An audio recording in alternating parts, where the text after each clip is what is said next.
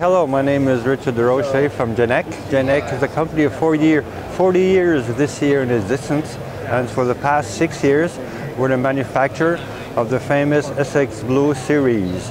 And it was great pleasure with the Esri UC conference in 2015 to launch and for delivery immediately our new iSXBlue Plus series. The Plus series has a brand new GPS board, new generation GNSS, which is fully GNSS, GPS, GLONASS, BeiDou, Galileo, etc., etc. So you'll be all set for the five or 10 next years with your new GNSS board.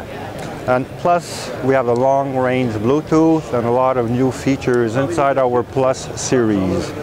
And a new product that just came out again today, which will be shipping next week, is the new XPAD Pro L2. It's the first dual frequency handheld all-in-one GPS with as the iSXBlue, GPS and GLONASS real-time RTK to get one, one centimeter accuracy. And as always, as all Esri shows, we'll be announcing new products next year in Esri UC 2016. Thank you very much.